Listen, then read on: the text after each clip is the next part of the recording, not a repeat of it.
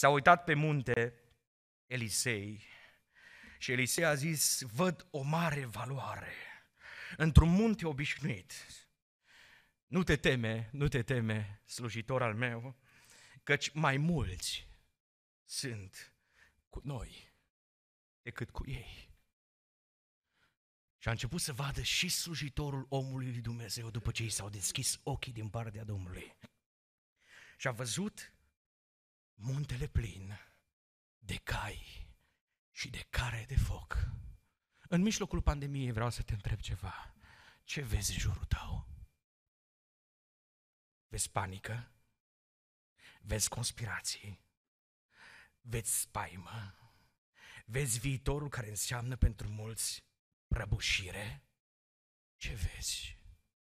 Dacă te vei uita în continuare cu același tip de vedere și nu vei începe să valorifici lucrurile cu adevărat valoroase, care până acum n-au avut valoare, dacă nu vei pune mâna pe Biblie, dacă așa cum se spunea, nu vei valorifica rugăciunea ca fiind cea mai importantă, la ce apelezi, Elisei, când sunteți în panica morții?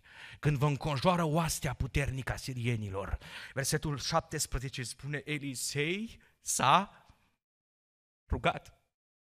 Dar stai un pic, importantă rugăciunea când avem în jurul nostru oameni dușmani, da, importantă rugăciunea. Apoi versetul 18, ce faci atunci când oamenii aceștia sunt gata, gata să te atace? Care e strategia ta? Versetul 18 spune cuvântul Domnului, sirienii s-au coborât la Elisei, că Dumnezeu te îngăduie uneori să ajungi până aproape să te atace dușmanii și oamenii vor spune, nu mai are nicio șansă, nicio șansă, că e metastază, frate, nicio șansă, că este ultima situație de ieșire. Nici medicii nu mai au tratament. Nu, nu se poate. Nu există soluție pentru COVID-19. Sirienii s-au coborât la Elisei.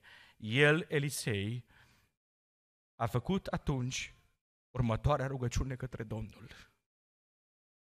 Mai e importantă rugăciunea în generația noastră? Da, rugăciunea este poate cea mai importantă. E foarte importantă. Viziune înseamnă să valorifici, să dai valoare lucrurilor fără de valoare.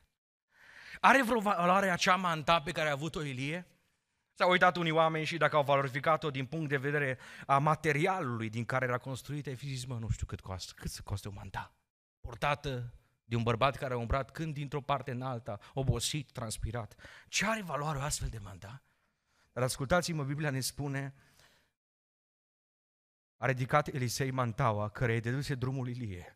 Apoi s-a întors și a ajuns față în față cu primul obstacol, Iordanul.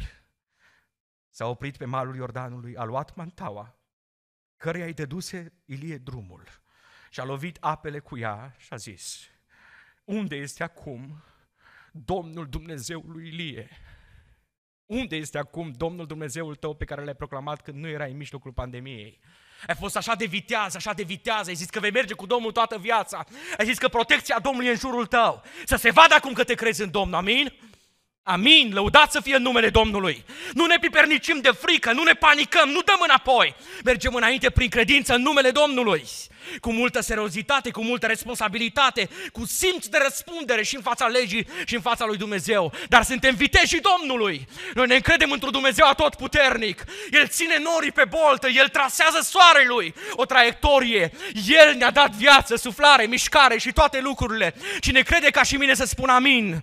Același Dumnezeu va fi cu noi și mileniul 3. În mijlocul pandemiei, ridică-te în numele Domnului și strigă, Domnul Dumnezeu e cu mine. Nu e doar cu Ilie.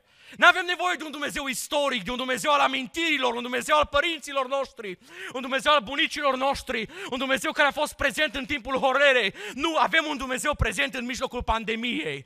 Dumnezeu este cu noi. Dumnezeu este de partea noastră. Dumnezeu dă valoare lucrurilor pe care El le-a investit în lucrare. Amin? Lăudați să fie numele Domnului. Unde este acum Domnul Dumnezeului Ilie? Și-a lovit cu mantaua. S-au despicat râurile S-a rupt în două Iordanul. Pentru că Domnul Dumnezeului Ilie era acolo. Aleluia! Viziune înseamnă să valorifici lucrurile pe care alții le aruncă la col.